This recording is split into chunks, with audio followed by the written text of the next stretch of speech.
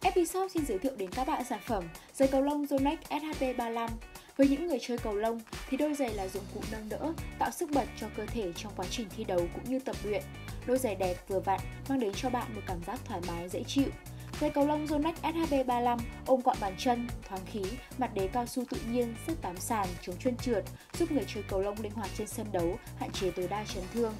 Giày được thiết kế với những hạt đệm khí làm từ vật liệu siêu nhẹ với khả năng hấp thụ sốc lên tới 25% và trợ lực 12%, giúp người chơi di chuyển êm ái, giảm chấn tới cổ chân và phần đầu gối. Cùng đến Episop và khám phá sản phẩm này nhé! Sản phẩm được bán với giá cực kỳ ưu đãi tại Episop.